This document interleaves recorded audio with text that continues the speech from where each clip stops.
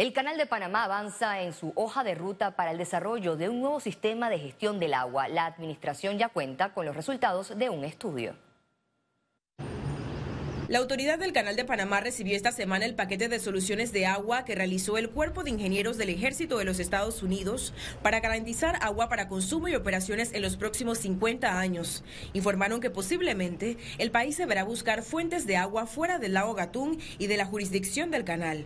¿Pero qué se lo impide? Esa decisión enfrenta un resultado de ley que fue la ley del referéndum que dice el Canal de Panamá no hará embalses la pregunta al país. ¿Vamos a reconsiderar eso que aparece en esta ley? Esa es la primera pregunta que nosotros tenemos que hacer.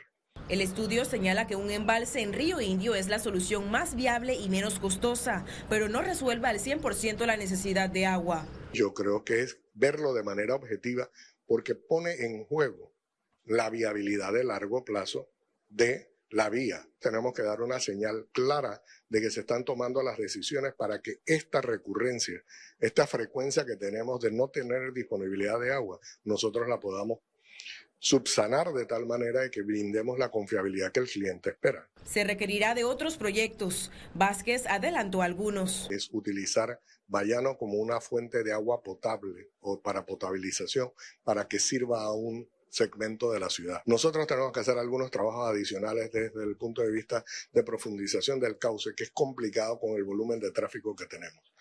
Tenemos también la posibilidad de cambiar la toma de agua de la planta de Miraflores para poder llevarla a un punto distinto que nos permita operar el canal de una manera diferente.